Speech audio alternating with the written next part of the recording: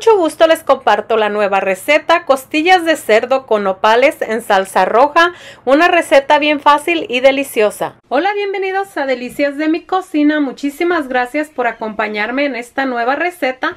La receta que yo les voy a preparar son unas ricas costillas con nopales en salsa roja que quedan deliciosas. Espero y disfruten esta receta ya que es una receta muy fácil de preparar y sobre todo deliciosa. Así que ya en el canal también les tengo la receta de cómo prepararlos en salsa verde para si gustan ir a ver esa y muchísimas recetas que ya les tengo para ustedes con mucho cariño. Y si son nuevos por aquí pues espero y les guste mi contenido y se suscriban al canal. Recuerden de activar la campanita para que YouTube les avise cada vez que suba un nuevo video y no se pierda ninguna de las recetas que estoy subiendo para ustedes con mucho gusto. Así que sin más, vamos y les muestro los ingredientes que vamos a necesitar para esta receta. Y como primer ingrediente yo voy a estar necesitando 20 chiles de puya y también pueden ustedes lo que es ver cuánto les gusta de picor, si gustan agregar lo que es chile de árbol para que salga más picante o ponerle la mitad de lo que son de puya y la mitad de California para que no salga tan picosa su salsa. Vamos a necesitar medio manojo de cilantro, cuatro jitomates medianitos, una cebolla mediana. Voy a estar necesitando un vaso de lo que son ah, nopales envasados, que esta receta ya se las tengo en el canal, que la verdad esta receta es súper, súper ah, práctica para cuando estamos lo que es de prisas o que tenemos pues que hacer algo rápido se las recomiendo muchísimo para que vayan a buscarla cómo envasar nopales. Así que una receta bien sencilla pero si no tienen lo que es nopales pues ya lo que es envasados digámoslo así pueden nada más cocer sus nopales con un poquito de sal cebolla y cilantro y pues ya los cuelan. ¿cuántos necesitarían? yo aquí más o menos le tanteo que un bote le caben de unos 5 a 6 nopales medianos así que es lo que voy a estar utilizando yo en esta receta o ponerle al gusto de ustedes Vamos a estar necesitando sal al gusto. Y aquí lo que tengo son dos libras y media de costilla de cerdo. Así que estos son nuestros ingredientes para esta receta. Así que vamos a empezar. Lo primero que vamos a hacer en una sartén previamente calentada, que no le vamos a poner absolutamente nada de aceite, voy a poner lo que son las costillas bien lavaditas. Y lo que voy a hacer va a ser taparlas para que así mismo se vayan cociendo pues con su mismo líquido y también ya después van a ir soltando su misma grasa. Así que aquí las voy a poner a llama media y yo les digo más o menos cuánto se tardan en estar, que es alrededor de unos 30 40 minutos. Ahora en el comal previamente calentado lo que vamos a estar poniendo va a ser a tostar nuestros chiles.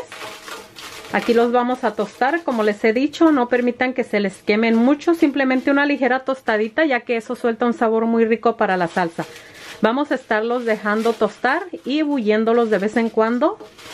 Ya ustedes regulan la llama de su estufa. Yo aquí los tengo un poquito a llama media para que no se me vayan a quemar tan rápidamente. Aquí mismo como a mi esposo que es el que le gusta mucho lo que es el picante y prácticamente esta receta pues es para digamos para él y para mi hija. Y pues a ellos les gusta lo que es la salsa picante. Lo que puedo hacer para que, como les he dicho, ustedes pueden aquí controlar el picor de lo que es la salsa, poner la mitad de estos chiles y la mitad de California, o yo aquí en este punto le voy a agregar un poquito de chile de árbol, que ya viene este tostado, para que salga nada más un poquito más picante de lo regular, que sería un puñito, miren, unos 10 chiles, que yo se los voy a agregar pues ya al gusto mío. Si ustedes, como les menciono, no quieren su salsa tan picante, simplemente pueden compartirla con los de California o simplemente hacerla con este que no quedan tan tan exageradamente picantes. Y vamos a estar bulliendo constantemente hasta que tomen lo que es un ligero tostadito y ahorita les muestro cómo nos quedan. Como aquí ven ya se le empieza a notar lo que es lo tostadito de los chiles que es ligeramente como les menciono. Ya los voy a estar retirando para el área donde pues no está prendido el comal ya que aquí mismo vamos a estar lo que es tostando los jitomates. Voy a moverlos con una toallita. Ustedes pueden ayudarse también con una toallita lo que es para moverlos si se les hace difícil lo que es estarlos bulliendo con la mano. Aquí miren lo que voy a hacer en un papelito aluminio como siempre les he mencionado para no ensuciar nuestro comal. Voy a ir poniendo los cuatro jitomates partidos en cuatro partes que siempre me han visto que lo hago así. Los partimos y luego de aquí los hacemos a la mitad. Esto nos ayuda a que estén más rápido, que queden partidos en cuatro partes. Y también lo que se me olvidó mencionarles es que vamos a necesitar un ajo. Así que esto es lo que voy a estar haciendo con los jitomates. También igualmente los voy a tostar, ya que esto le va a dar un rico sabor también a nuestra salsa para nuestras costillitas con opales, que quedan deliciosas. Y ya, pues así voy a estar dejándolos tostar por aproximadamente 5 minutos y por lo pronto pues vamos a ver cómo va avanzando nuestra carne para agregarle lo que es un poquito de sal y seguimos con esta receta. Aquí miren después de 3 minutitos que ya está hirviendo lo que es la carne, le voy a poner unas 2 cucharadas de sal medianitas ya que esto le va a ayudar a que vaya tomando lo que es el sabor la carne y como ven miren todo el juguito ya que ha soltado que no le agregamos nada, así que igualmente así va a ir soltando la grasita después que empiece a dorar. La voy a volver a tapar y ya después les muestro cómo va quedando nuestra carne en unos 30-40 minutos. Para ir avanzando lo que voy a estar haciendo es picando la cebolla. A mí me gusta muchísimo picarla en media luna, lo que es para esta clase de comida. Así que la voy a ir picando, que son lo que es en media lunas delgaditas, así más o menos cilantro simplemente lo corté en tres partes, así que es lo que voy a estar haciendo y ahorita les muestro qué más sigue en esta receta. Una cosa de las que voy a estar haciendo es poniendo aquí nuestros nopales para lo que es lavarlos con agua fría, ya que los tenga bien lavaditos lo que voy a hacer es aquí quitarles el exceso de líquido en esta que es súper buena, bien práctica también esta maquinita para hacerlos y se les queda lo que es bien seco, no les queda nada de, líquido a los nopales, así que una recomendación que les doy. Bueno, vamos a lavarlos y ya les muestro cómo nos quedan después. Mira, ya que tengo los nopales bien enjuagaditos y como ven aquí les voy a mostrar que quedan pues húmedos por el agua que usamos y poniéndolos lo que es aquí ya verán todo el agua que se les va lo que es a escurrir y después lo que vamos a estar haciendo es lo que es dándole vueltas para que se sequen muy bien. Por un ratito nada más.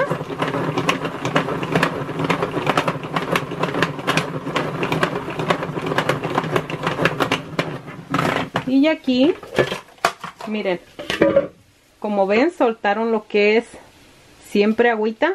Así que ya los nopales nos quedan prácticamente listos para agregarlo lo que es a nuestra carne cuando ya esté lista.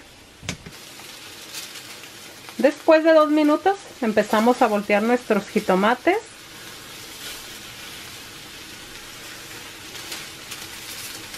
Y como ven quedan bien tatemaditos y esto les da muy rico sabor a la salsa.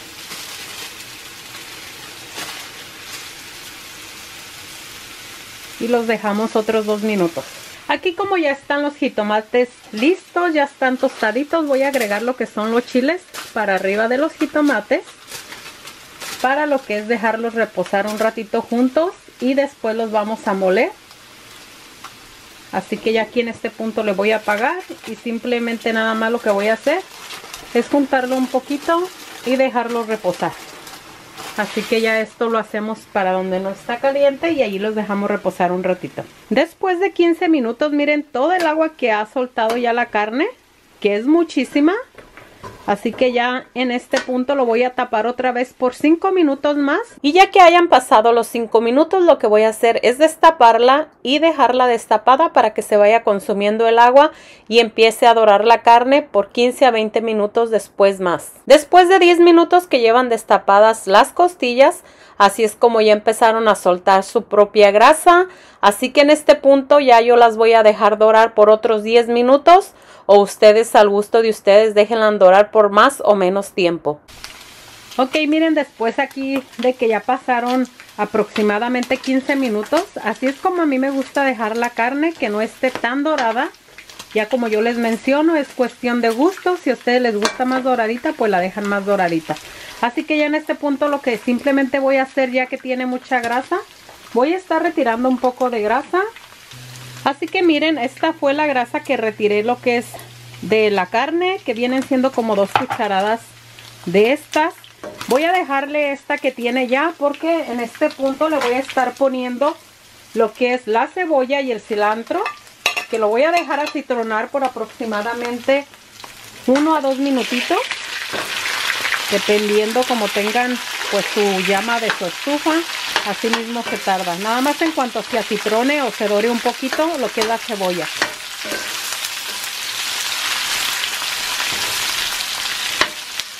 Así que con un minutito bastará para lo que es nada más dejarla citronar y vamos a estar agregando lo que son los nopalitos. Así que vamos a estar bulliendo de vez en cuando. Y como ven se citrona súper rápido lo que es la cebolla del cilantro.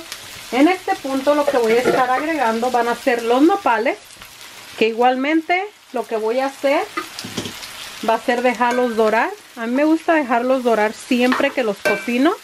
Un poquito nada más digamos que no me gusta que estén tan tan aguaditos, así como que se sienta lavadita, digámoslo así por decirlo. Me gusta que estén un poquito doraditos y ahorita les muestro. Los voy a dejar aproximadamente 5 minutos aquí dorándose y lo que es meneando de vez en cuando y ahorita les muestro cómo nos quedan listos. Por lo tanto en la licuadora lo que voy a estar poniendo son nuestros jitomates, el ajo y los chiles que tostamos en el comal.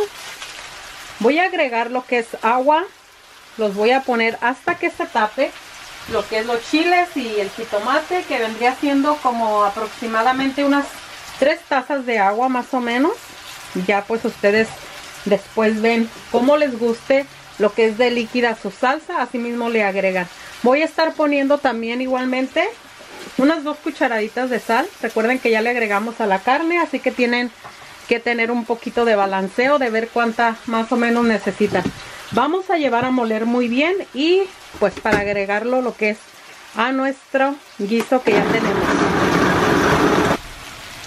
Aquí miren después de un rato como les menciono simplemente me gusta lo que es dejar un momento dorar los nopales que así es nada más una ligera doradita 5 minutos nada más y ya en este punto como nuestra salsa ya está lo que es molida lo que voy a hacer es colarla.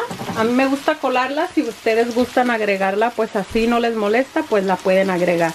Así que nada más lo que voy a hacer es ponerle un poquito más de agua a lo que está la licuadora para quitarle el resto del chile. Y lo que voy a estar haciendo va a ser lo que es colarla muy bien.